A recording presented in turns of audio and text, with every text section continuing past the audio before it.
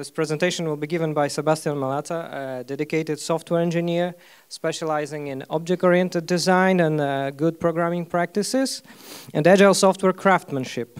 Speaker at many conferences, contributor to several blogs, dzone or Java Code Geeks, just to name two of them. And today he will tell us how to get rid of the obsession. Please give a warm welcome to Sebastian Malaca.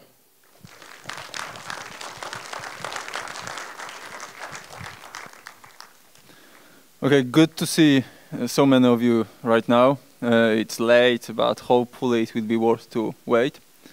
Okay, so let's start.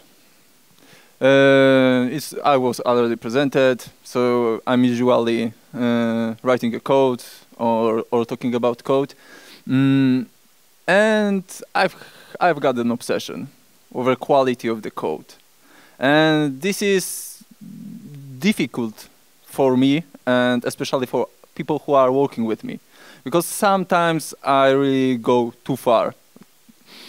Uh, that's that's why whenever I'm starting to cooperate with someone, I always tell him whenever I'm doing too much in a specific direction, I'm talking about something too long, just tell me that because I know that I have this difficulty. On the other hand, I've got great characteristic. I'm extremely lazy person, and that's why I'm not driven really, really far with my obsession because it just cost me a, an effort and time. Okay, so what I will talk about. Uh, firstly, I will we will talk. Uh, I will present you what obsession is, and we'll try to build uh, a knowledge base.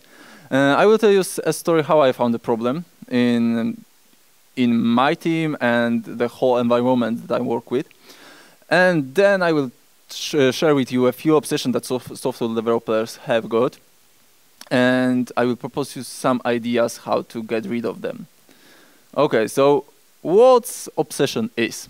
Obsession is a fixation. You are focused only on one thing. You are thinking about it over and over and over and over and over again. Whenever you are look, looking at the problem and you got solution and you found out found out sol solution, uh, your seeing is really narrowed you are not looking at other perspective. You are uh, stopping to listen them. You are just not. You are not even assuming that there there may be something wrong in your uh, idea. The focus on one thing, fixation fixation over one thing. This can be a problem. Usually is. And the question is, are you obsessed? This is a really good question for the conference. I could ask you, are you obsessed or not? However, i I think that statement instead of question will be better. You have your own obsessions. Uh, the problem with the problem with the obsession is is that you may be not aware of that, and this is a huge problem because if you are not familiar with your obsession, you don't know that you are going too far with some specific area sometimes. You cannot stop yourself. You don't have a control over this. That's why the first step is to know, recognize your obsessions. Okay. when I'm writing, when I'm uh, talking, I'm usually looking for uh, synonymous for the words that I'm using. Why? Why? Because I just don't want to repeat myself all over again. And the great page uh, that helps me uh, a lot is Thesaurus. You may type the word there and you got a list of uh, synonyms with uh, the accura accuracy to this. And there were few that was unexpected for me. That obsession is a passion. This is something positive. And I started to think, okay, but Passion is something good, yeah? It's good to be passionate with something. So how they can put those words together and they are telling me that this is almost the same because pas passion was really high on those uh, high, on, high, high on those lists. And I started to think, think, think, and I cannot agree with Thesaurus' suggestions. Why? Because passion is something positive. Obsession, obs obsession is something negative. But okay, the question is why? passion, passion drives you to learn more, to look for, the, for other answer, to look for other ideas, to talk with people, because you are so eager to share your knowledge, to eager to know what they know, that you will just try to get those information from them and challenge your ideas with them. And obsession, it works totally in different way. When you are obsessed, you are not looking for other answer. No, obsession doesn't allow you for that.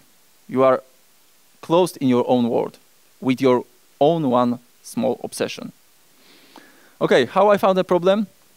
When they hired me to Luxoft, uh, there was one part of an interview and they told me how great statistic they, they have got about coverage of the code. They had some something around 97, 98, doesn't matter. It was really high. And we were talking about uh, those guy, uh, th those interviewer, and I thought that great. It's when when I've got high coverage, I can change everything without breaking anything. I can ch change, improve, remove, and I will still feel safe. That's good, great. And when I started to work at Luxoft at this uh, particular pro uh, project, Mm, I saw the people, I saw, I saw the numbers in co config files that you cannot uh, allow your classes to have less coverage than 98, 99, and it was increasing uh, by time. That's, that's great. That's really great. I re read a lot about coverage. I, I read that this is some, somehow con connected with TDD, with refactoring, with all of those great practices that each software developer wants to do and looks fine. And then I face a problem. There was small, tiny component that I had to refactor. Why? Because we were planning for further ch uh, another change, and we would we wanted to prepare environment for that. So refactoring was required, and I started. I did a change, ran a test, and they were failing. Okay, I started to think what I, am doing wrong, what, what's the problem. I, I read the mm, description of the fail, failing test, and it was not about problem with assertion. No, it was problem that something wasn't mocked, or mock didn't met the expectation. Man, how how it's possible? Okay, so I, I uh, ask my colleague for the, for the team uh, uh, for short chit chat, and I ask him, okay, so how I, where's the test that I can based on? Where is the test that will keep me safe during this refactoring? The answer was like, Sebastian, we've got high coverage. Okay, Michal, but this is not what I'm asking for. Uh, everything is unit tested. Great, but this is still not what I'm asking for. W where's the test that I can run and it will show that my change didn't break anything. didn't break anything. There was no such a test. And that's, that was a problem with coverage. Uh, coverage right now, it's 99 in our project. Everything is unit tested. But most of unit, if this statistic is your main goal, you try to make your life easier. You are not thinking about quality of the test but about coverage. But that will be soon.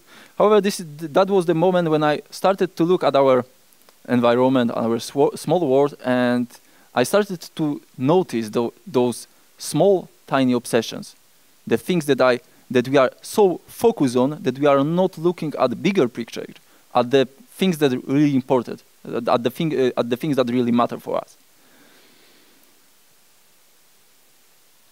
we are focused on tool. This is fixation. While you are on, on the conference, any conference, while you are reading a book, while you are reading articles, because you want to build toolbox. You want to have many tools because that allows you to choose exact weapon to face and solve the problem. Obsession is something that blocks you. Okay, so this is the first thing. This is something that I have to uh, start with because this is my obsession. I really like refactoring. I really, really like redesigning. I really like to improve our code. Whenever I'm uh, looking at a new cool concept um, and I see value in it, I try to put it into our code base. But that can be a problem. Refactoring is tiny. This is small change, so I, I will leave it at, leave it that. Um, but if you want to do a redesign, it requires a plan. It, require, it requires a couple of commits. It, require, it requires not only your times, but um, your colleagues' times. Code review, blah, blah, talks, uh, argues, suggestions, changes, bug fixes, and so on, and so on, and so on. And what you are doing, what I'm doing, I'm just improving the code. There will, there will be no change. Improve, continuous improvement is really important, but it cannot be a waste. You should improve the code during, before or because you plan to introduce a change.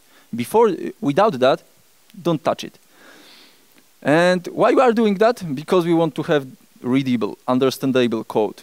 So th that was funny that I, when I uh, first noticed that the developers is this is the really great uh, person because we want to do everything and we really try to learn more and introduce new uh, better feature uh, functionalities, tools in our development because we want to have everything easy to understand, easy to, easy to make. So we want to be replaceable.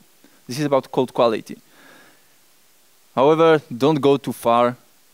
You need to know the boundaries around this. Okay, are you obsessed? Maybe you don't know yet. Maybe you will shake your head as no probably you will find at least one obsession during this presentation that is your coverage. This is something that I already talked about. So our main goal is high coverage, yeah? So how to how to make it really simple? Uh, remove the code, yeah? If there will be no code, our coverage will be high. This shows how basing only on these statistics is stupid remove as much as you can, and then coverage will be so high that cannot be higher. Okay. So I'm not impressed with any kind of uh, high coverage anymore because this is good statistic for us. It should help us, but it cannot be our only our only one weapon. And why? Because we are starting to focus only on unit test. Why? Because it's hard to write component test. You know, all of those components must be real, all of those dependencies, you must build it, you need to prepare uh, even small part of an environment and so on and so on. It requires times. It, it requires time. It's far more easier to mock everything because then I can have control over each part of the component. I got my real object under the test all of those dependencies are mocked because it's simple. I will build as many assumptions as I want. Then I will pass the input parameters, but should I create them? No, I will mock them because sometimes those parameters also have got some kind of verification and uh, building it, it's sometimes requires some specific knowledge. So it's, it's easy to mock. Mock, pass the class and do whatever you want. Easy. But we, with those three things, we are ending in the situation when I'm at the problem. You cannot do a change. You cannot refactor the code or, or redesign the code without a test. Yes? Why? Because refactoring or redesigning, one part of the defi definition is that you cannot introduce any change. Everything that worked before should work. Every bug in your code should be there still. This is all about refactoring and re redesigning. And how we know that? Because we, there are tests that we are running, they are passing, we feel safe.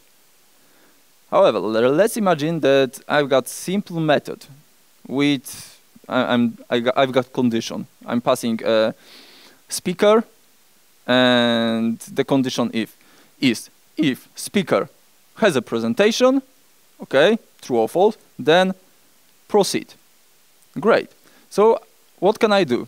How, how I can write my uh, unit test? First, my, my, parameter is speaker, so I will mock it, mock it, and then I will uh, de declare assum assumptions that whenever mm, in the in the functionality we will ask for the method uh, is presentation ready, we will return either true or false. I've got two tests for that, yeah, and then I will verify whether processing happened or not. Cool. But someday I decide to rename the method. Why not? I will, or renaming a method, maybe even, uh, yeah, rename the method. What it require? I need to go to the test and change it.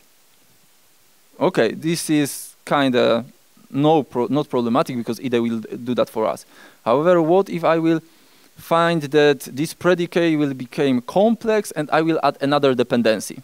But as a first step, I will just move this to another component. So instead of asking speaker directly, directly, do you have a presentation? We've got, I don't know, condition. Condition, is it true? Passing speaker, and the magic will be behind, behind it, yeah? I'm running my test, and there is a failure. Why? Because there is no dependency.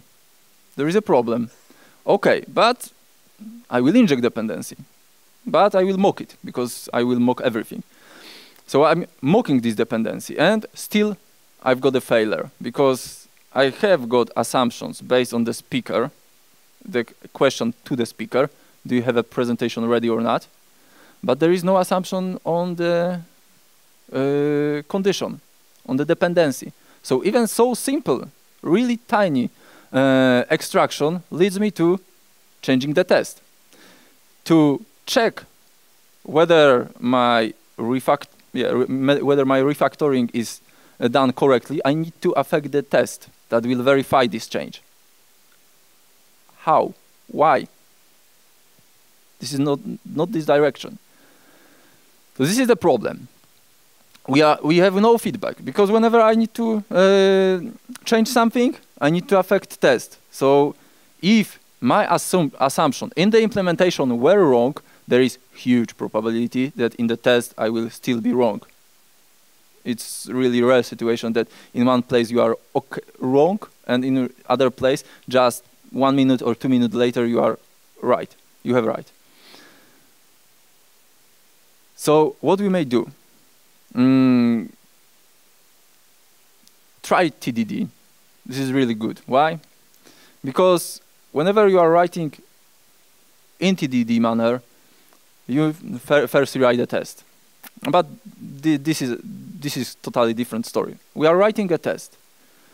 We are uh, adding new functional, uh, uh, more functionality into our component, and one day we are thinking that okay, this is too big. I will split it. So there is my, our entry point, and I will put this on site. But I've got a test for that.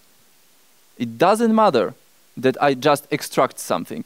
It doesn't matter because that functional that those tests will cover that.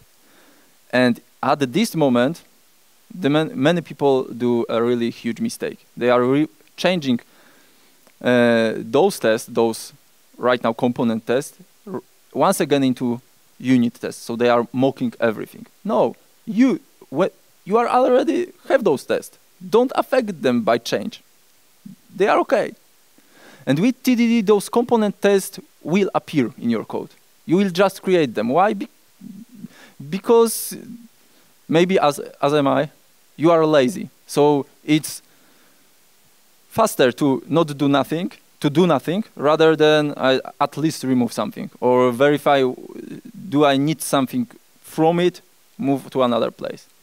That's why TDD is cool because with component test, we may do changes and a kind of a extraction and a kind of introduction or removing interface, pattern, whatever, give, gives me really fast feedback.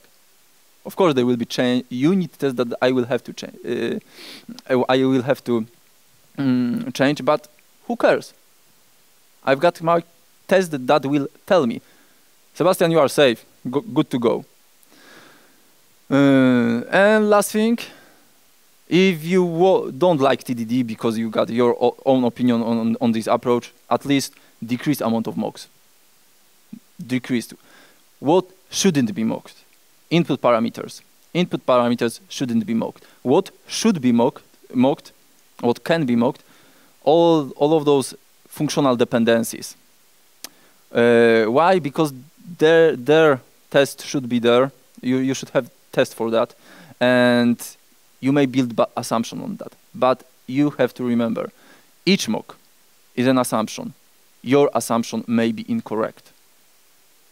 And if some, something underneath will change, except the method declaration, you will have those assumptions somewhere in the code, but you won't know about the change. So your test may become invalid, false positive, and that's even worse, worse than not having a test at all.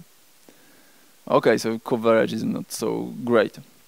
So if we don't have, if having unit tests for everything is not a good idea, so maybe write a system test for everything. Maybe that's a better idea. Maybe. You may try. Mm, probably you will fast decide to not do, not, not do that. Why? Because it's expensive. And I'm not even talking about, I don't know, cost of utilization of your Uh, local host machines and whatever environment that you are using for continuous integration or no continuous integration doesn't matter. But it takes time. It takes time to write a whole complete story. It takes time to build all of those huge objects that will be directly passed into your application. It takes times to get the feedback. That's the problem. If you will write a test system test for everything, then you will wait and wait and wait, and you will have a good excuse for I don't know, go for coffee, gym, uh, to the cinema, because when you will back, the test still will be running. So I cannot start working on anything else. I'm waiting for the feedback. You want to have fast feedback. The problem there is the pyramid, test pyramid. So on top you've got amount of system test below component test, unit test. Sometimes it's reversed. So we've got a hell lot of uh, system test, then component test, or not, not, no component test at all, and then unit test. This is wrong because those unit tests which can give you, or component tests which can give you a fast feedback don't exist at all. Uh, and the system tests, you know, there are many paths that your system can work that your input can go. And maybe you just don't test something. That's, that's kind of problematic. Or you will end with this test square. System test, component test, unit test. That's totally waste of time. You will duplicate each test, but on the higher level. Too much. So my su suggestion, system tests are important, of course, but you need to think what is the most crucial thing in your application. First thing, regular flow, regular flow, the things that are happening all the time. This is something that you have, need to have covered. Why? Because if, I don't know, 80% uh, of your traffic is uh, covered because you test all of those reg regular flows, if something really horrible will happen, that that will affect only a top, uh, only 20% uh, uh, of your customer, and this is top number. It can be lower. Also, all of those crucial cases. So you need, you know that, okay, this is rare, rare situation, but if it will happen, and if we won't be safe with this, we're gonna die. So this is also something that you want to have a test for that. Uh, and bug fixes, so th those special cases that happened, but we don't know why on the beginning, and we, somehow we still want to know that it was fixed. This is this is good good place to uh, pu put it. Mm, what else? Yeah, so let's go further. System tests, defensive programming. This is really cool. I, I like the picture. Uh, I would like to have our application so uh, strongly protected.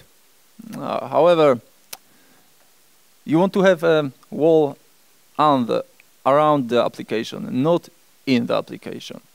Of course, I won't say, don't want to say that defensive programming is wrong. No, it's it's not. There are situations where this is it, it really makes sense. Whenever you are thinking about something crucial, something that have to be valid, do whatever you want. But uh, those are few situations that I found in the code um, about uh, how people are, what people are doing, and this is the defensive prog programming that I see problematic.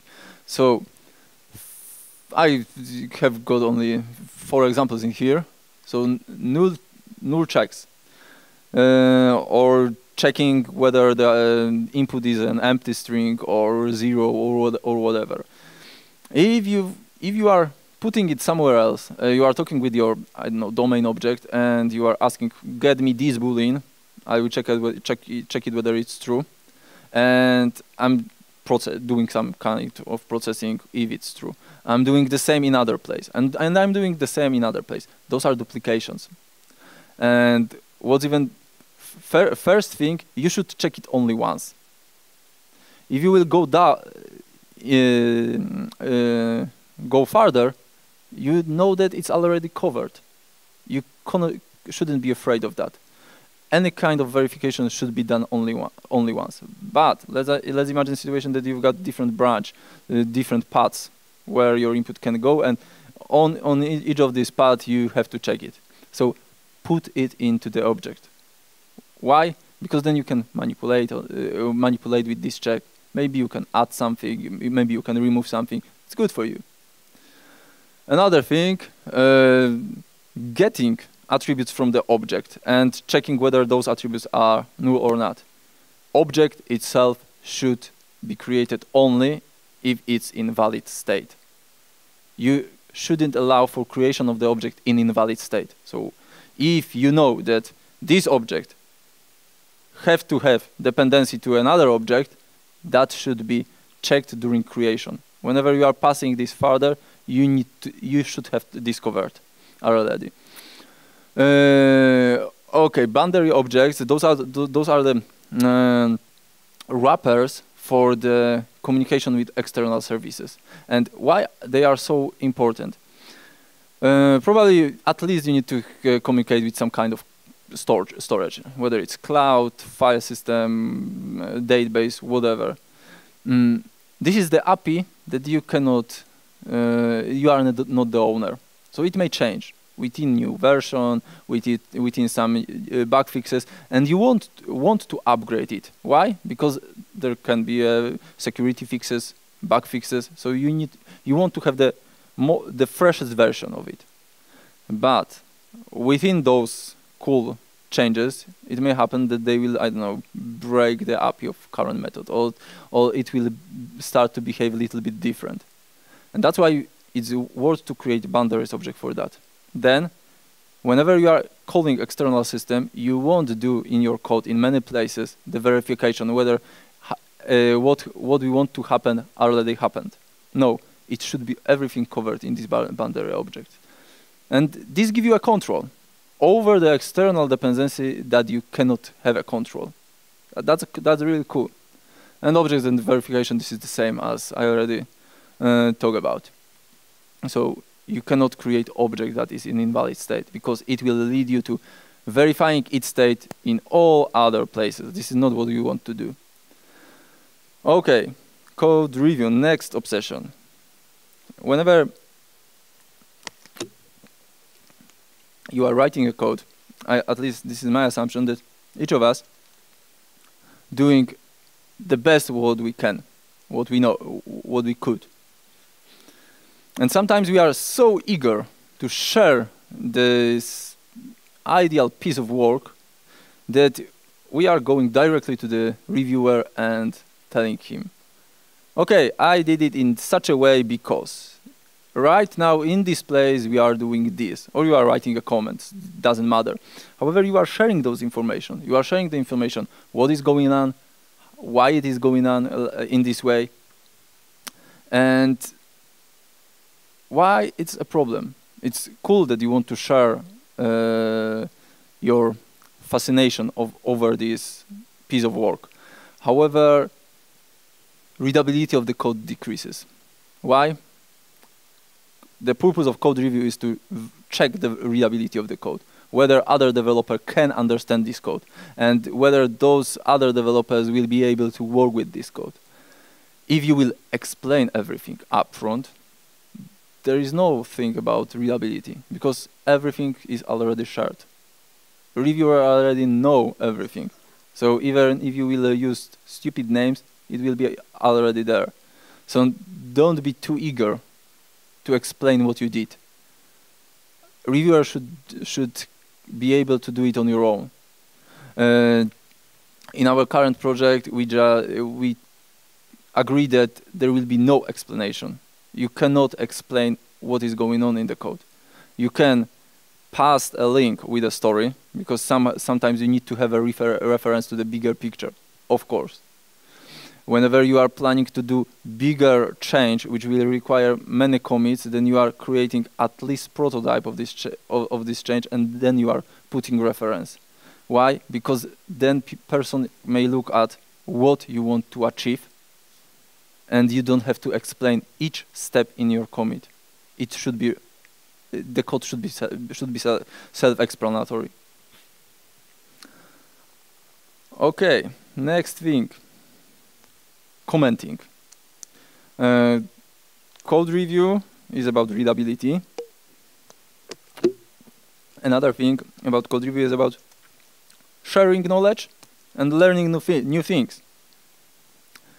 I can send to the reviews uh, some new cool uh, feature. I just used our new library and I want to show how to use them, use it. Great. Some reviewer can learn something. On the other hand, they can spot the problem, so they can teach me something. This is great, really, really great. But the problem. Many people are writing a comment because this is not done in my way. You know, I, I prefer factories over the builder. Yeah? Or I prefer having builder on the in the separate uh, place or in one file doesn't matter or I know I will extract an interface because maybe there will be a need or I will and and many many many tiny things comments uh, are okay but it's you have to remember that this is suggestion this is either I'm sharing my idea with you because maybe in future you will consider this as an option. Maybe not, but this is only my suggestion. And you need to be aware of that. You, need, you cannot be afraid to tell either the highest senior or architect in your, uh, in your project that, no, I won't do that because this code is already written and there is no wrong, nothing wrong in it. Mm, we had such an obsession over those comments. We, whenever we, we put a comment, there was either fix for any comment. If an, if an author agree with the reviewer, there, there, there, there was no merging into the master, we were fixing it or, or improving it because usually it was about improvement, improvement, not fixing a bug. Uh, another thing, we were not leaving the unfinished discussion.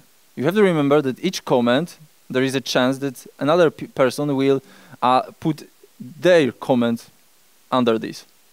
And what in case there will be more reviewers? There will be discussion. In case of discussion, you need to remember that sometimes we have got never-ending discussion, like I don't know singletons. You cannot use singleton; it's obvious, yeah. But sometimes we have got them in code. Sometimes we are not the people who put them in the code. We are just using them. And there is this really mm, obsessed over the code quality person who will tell you, you cannot use this singleton, you need to refactor it. But this is not the part of your, of your, of your task. You cannot refactor all of all, all the world because you want to use something which is already there. Of course, it may be planned. It's it's better to remove those singletons. We may ag agree on that, but it's already there. You want to do, uh, you want to write as good code as possible, but you you don't want to save everything. So those never-ending discussion, and it's even better when uh, we cannot agree because I don't know. Mm, I prefer template method, and you prefer strategy because abstraction is bad. And for me, it's okay. Why not? And we are starting to, to discuss. And probably I won't convince you. You won't convince me. Convince me. We are wasting a time. Someone is paying for this time. So let's leave it. Remember, don't put comments until it's really needed. Until you won't spot the bug, don't write anything. If you uh, don't have this power to tell yourself, don't go too deep. Because comments may be a problem. And sometimes code written in an hour, waiting for, is in the review for a day, two days, and not because of lack of time of other developers. Not because, no, because of uh, because that everyone are looking at it and everyone are talking about it. If you cannot agree, just ask another person and base on it, on this decision. Okay. Yeah, refactoring. I told you that I'm I really like refactoring.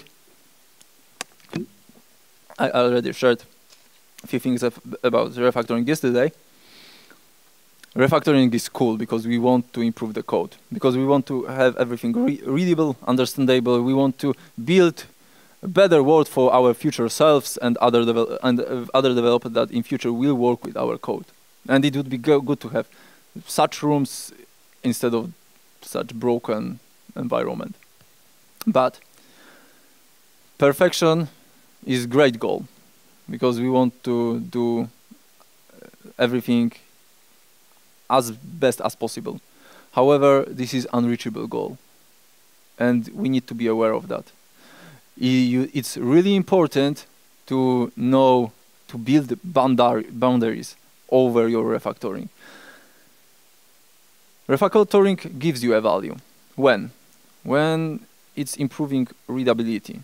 Each refactoring is improving readability, but there, are, there is one important thing. You should refactor the code that you are working on right now. Why? Because you don't want to repeat this hard process of finding and uh, finding out all the answers all, all over the all over the, again. If you are working on the feature for a month, you don't want to think about it, go, going and jumping through through the code each time whenever you are facing some problematic place. Uh, you are refactoring this code because once you understand it, this knowledge is in your head. You already did a, did a, did a effort, uh, effort, and you can improve the code. This is value. This is not only value because you just increase the quality of the code. No, you will work faster because tomorrow you will get back to this place and you will start to introduce your change. And the change is something that customer really want. Or I don't know, if you fell sick and you won't go uh, to, to work the, on the next day, another developer will start on the same place that you just refactor. And great, you just speed up his development. They don't, they don't want to uh, want to need go deeper because everything should be more or less more or less clear. So for each refactoring, there is this starting point. Usually it's a method because I know where I want to introduce my change. It will, okay, sometimes it may, may be a class. But I'm finding this place where I will add something, improve something, think, remove something, draw a boundaries ar around this place. Whenever you will go farther and spot something that it would be worth to imp improve as well, don't do that. Refactoring is not about changing everything for good. No, it's about continuous improvement and leaving the place better.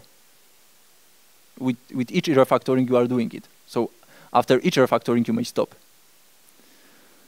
Okay. Next thing, the best idea. Sometimes there are those huge problems in the with the application. Sometimes there are those great decisions that have to be made. And you are gathering all of those wise people around the table.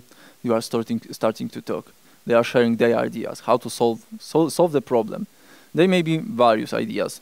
Mm, usually, usually, in case of really huge problem, you are uh, not putting in the room the person that will will uh, silently sit there and just shaking the head. No, you are putting the uh, there the person that will that would like to speak, would like to share what's bother them. And the problem is when there are few ideas and you want to choose the better one. And you are starting to, to talk.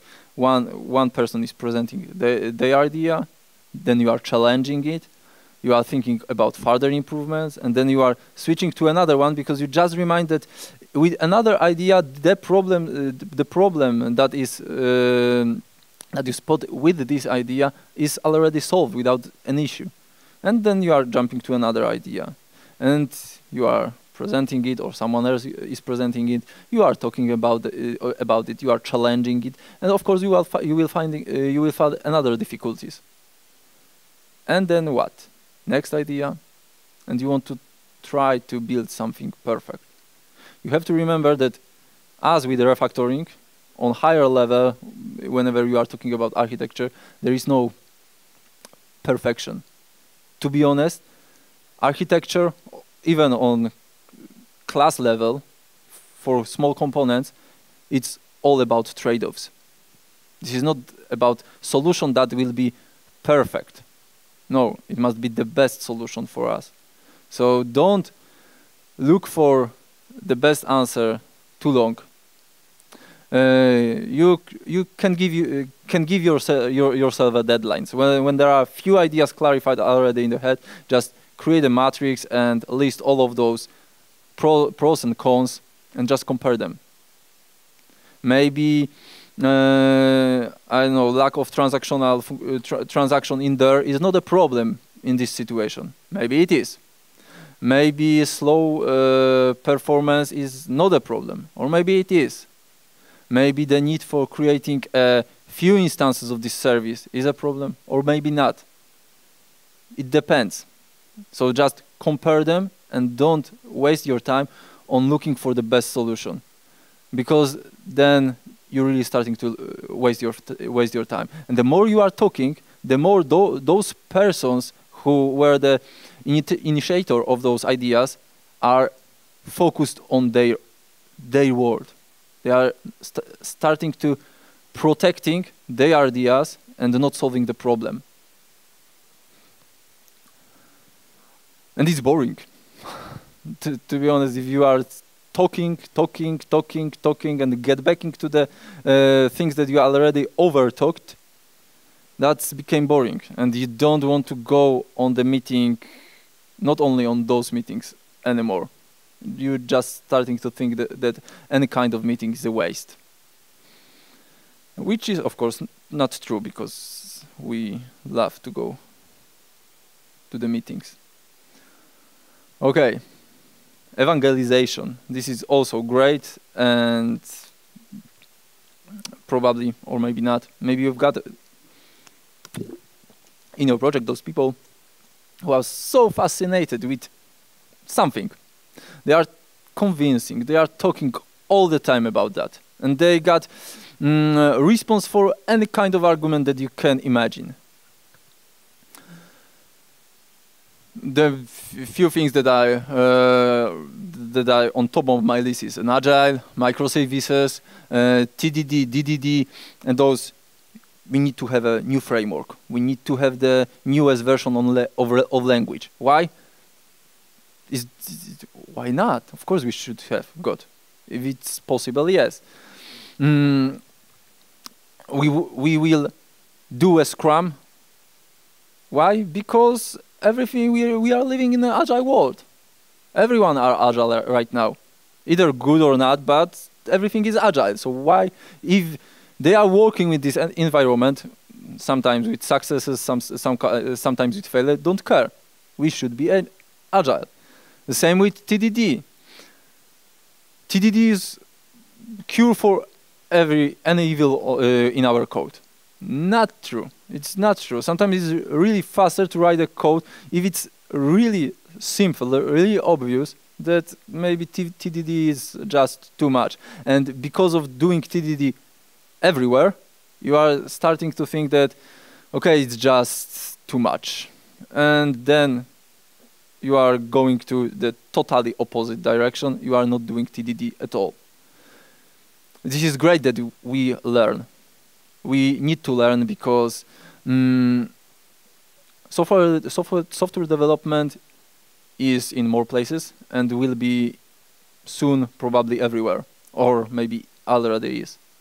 There will be application for everything. There will be controllers, there will be hardwares and so on and so on. So it's good to be up to date. We are const constantly improving uh, functionality. We are constantly finding something new. Software development is really, uh, really young. I don't know. Some let's assume it's hundred years, maybe a little bit less, maybe a little bit more. In comparison to I don't know medics, it's really young. So there are many things that we need to verify. We don't have a proof that if I will do uh, will write application with this ar architecture, after 50 years it still will, will work. I don't know whether is there on the world there is at least one application that is working for 50 years. In the, in the example, microservices. Right now, everyone talking that microservices will solve each of your problem because you will can expand your application. You will be prepared for everything what, what, what can happen. But do we have a proofs?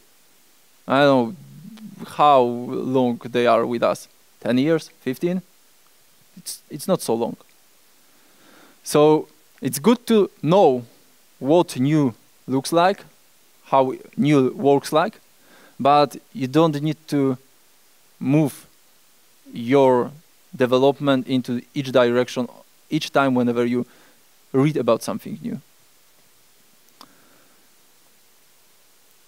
Rules. Rules are everywhere, and uh, i want to talk about rules about in our code, about good practices.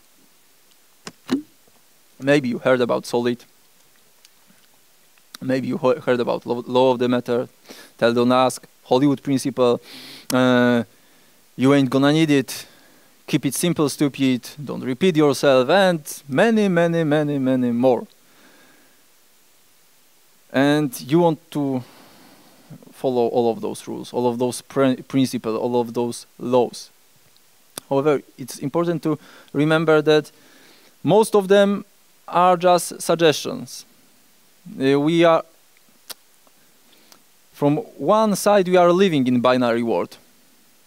Re really low everything is about zero and ones. But when we are talking about software development and the, the decision that we need to make, it's not about true or false. It's about trade-offs. It's good to know all of those rules. But if you will really try to follow them all, probably you won't finish any even tiny tiniest piece of code because it's all about trade-offs. You need to know it's okay to break rules and until you are aware of, of it and until you really want to do that. You just compare what you will get by following the rule and you will get what you will get by breaking it. So it's good to know them, but those are tools. And the more you know, the better. The more tools you will have. But this is the things that give you a possibility to choose whenever you will, you will facing a problem and whenever you will think about a solution for, for, the, for this given problem. Okay, so are you obsessed? There are many more. And as I, as I said on the beginning, this is the, the most important thing that is to remi re remember that the first step is to know about that, know about this fact. You should look at yourself, about your action, about your decision, about the way how you are developing the code and, and the way how you are uh, working, and ask yourself, is there any place where I'm going too far? Is there any place that I'm just so focused on one tiny aspect that I'm not looking at the big pictures? This is the place where you may find obsession. Okay, so this is what was served. And let's finish with positive accent. Think about passion. Passion, passion let you expand, let you grow, let you learn more. Obsession is something that narrows your view. Okay, so that's all for me, from me, from my side. Is there any questions? There is a question. How will you conquer the uh, obsession? Because I found uh, my own way uh, with the obsession of coding as a cynicism. Uh, it came, you know, with the age, but it's uh, it it really works. Uh, you know, it depends because coding have got many aspects. Mm, usually, when I'm, I will talk about only my obsession.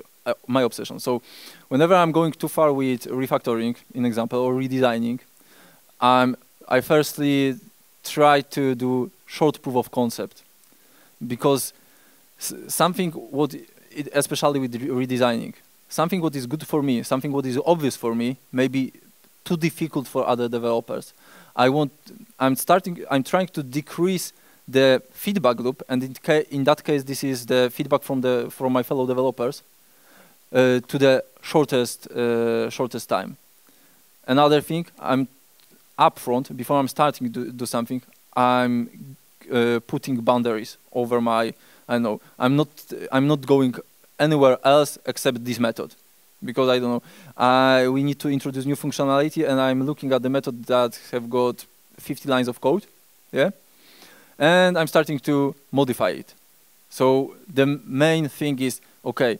Whatever I will spot outside this method, it will be not in, uh, put into my focus right now.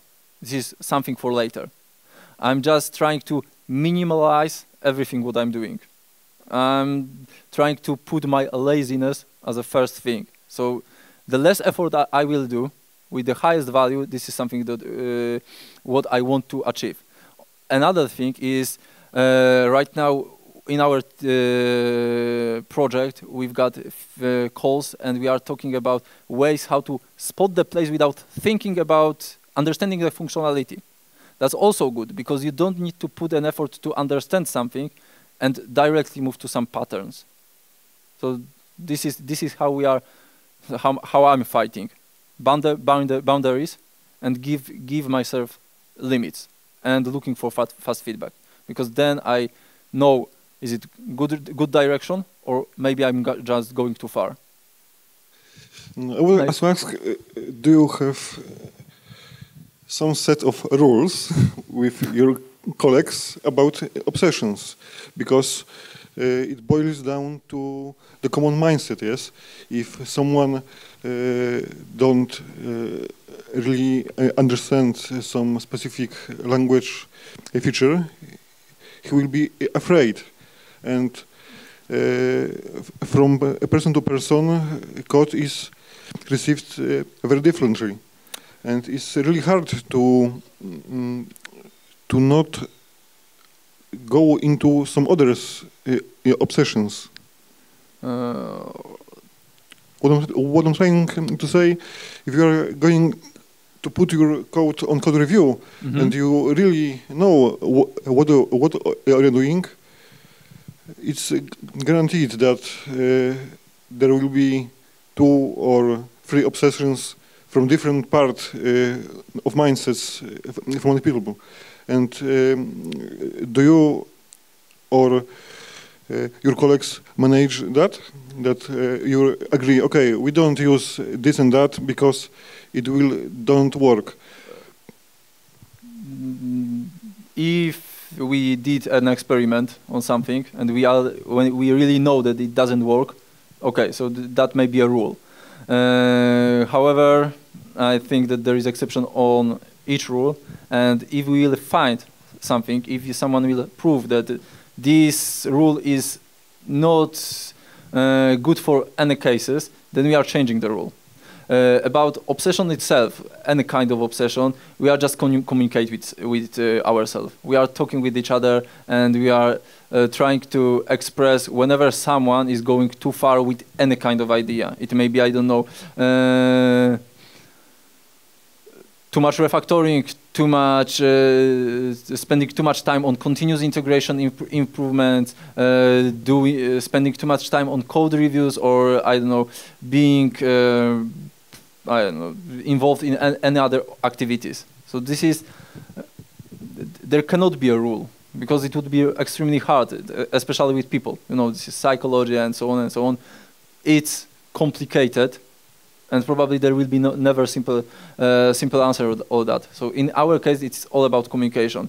Whenever and we are keeping repeat to, to ourselves uh, ourselves that that whenever someone will spot a problem or um, anything that we should worry about, speak it loud. And the more thing we are finding, the easier it is. It, it, bec it, it becomes um, our uh, part of our communication. If I don't liking the way how you are arguing with other person, I'm, I'm telling to, to you.